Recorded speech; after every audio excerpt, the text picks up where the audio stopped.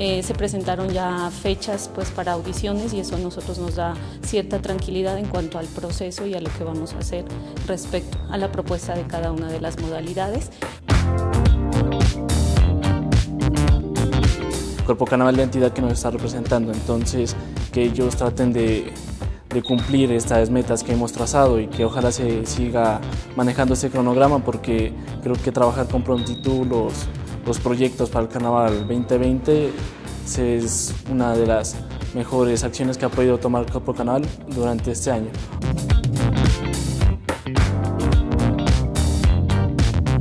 Considero que debemos construir desde lo que tenemos y me parece muy valioso que unidos eh, sigamos aportando y sigamos haciendo que juntos podamos hacer nuestro carnaval más grande.